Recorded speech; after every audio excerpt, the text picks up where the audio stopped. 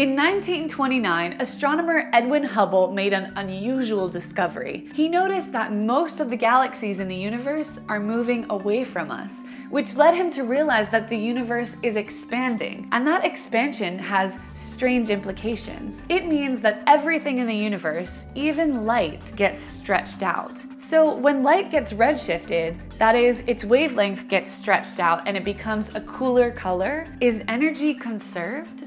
This episode of Physics Girl is supported by Squarespace. Share your passion with the world. Let's first look at how this redshift happens. Imagine the expansion of the universe like a loaf of raisin bread rising as it bakes. Galaxies, like the raisins in the loaf, spread apart, not because they're moving through the loaf, but because the dough itself is expanding, just like space-time does. As space-time gets stretched out, so do any of the light waves that travel through it. This is known as cosmological redshift. Imagine a galaxy far away emits some yellow light at you. We would measure that light as more stretched out, so maybe we would see it as more red. That's why we call this redshift, because the longest wavelengths of visible light are in the red part of the spectrum. Note that this cosmological redshift is different from Doppler redshift or blue shift, which is caused by things moving toward or away from us through space. Now, longer wavelengths of light have less energy, or at least Planck's equation tells us that. Energy equals Planck's constant times the speed of light over the wavelength. So as light's wavelength gets longer, its energy decreases. But wait, you learn in intro physics about the law of conservation of energy, that energy can neither be created nor destroyed. It's just transferred from one form into another. So where does the redshifted photon's energy go? One could guess that, well, maybe light waves die out the same way a ripple in water dissipates. But the water molecules are bumping into each other, stealing kinetic energy through friction away from the wave's energy until the ripple finally dies out.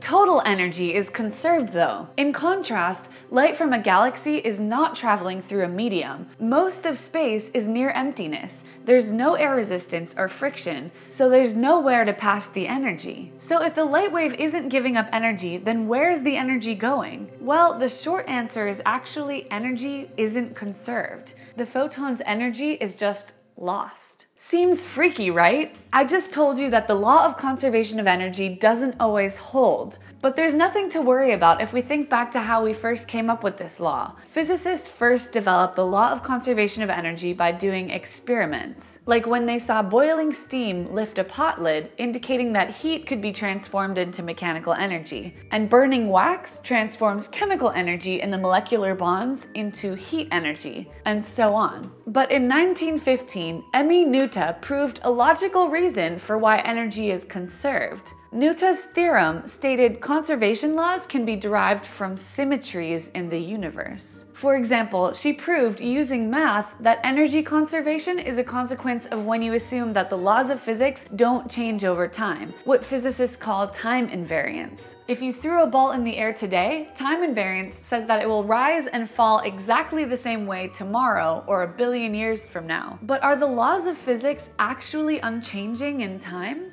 In that same year that Noether published her theorem, Einstein showed using general relativity that space-time can change. It can warp and ripple and expand. In fact, the first observed gravitational waves a couple weeks ago are an example of space-time changing. If space-time itself is changing, then that means that the laws of physics must also be changing, which means by Noether's theorem, energy isn't conserved anymore. So during cosmological redshift, when a photon's wavelength gets stretched out, its energy is simply lost. So it turns out that something we usually talk about as a universal truth has cosmological exceptions. What do those exceptions mean? For me, they're a reminder that everything we know and intuitively understand is far from universal. It's a special case.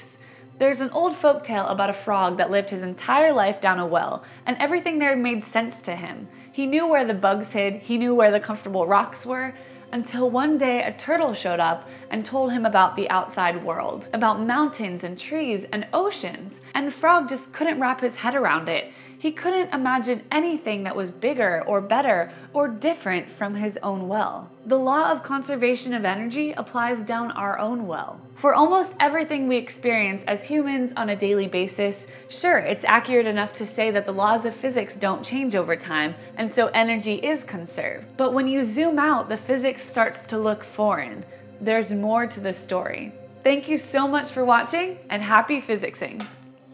Physics Girl is supported by Squarespace. If you have a passion that you obsess over, if it keeps you up at night, if you live for it, you should show it off. With tools and templates, Squarespace helps you showcase every detail of what drives you. They also offer domains, hosting, and customer support. Because if it's worth the effort, it's worth showing to the world. Start your trial today. Visit squarespace.com slash physicsgirl. You made it to the credits, which must mean that you really like Physics Girl, and I'm really happy to have you watching the videos. So I'm interested, and PBS Digital Studios is interested in learning more about you, what you watch, what you do online. So we're running a survey. The link is in the description. It'll only take about 10 minutes, and 25 random participants will get a PBS Digital Studios or a show t-shirt. So check it out.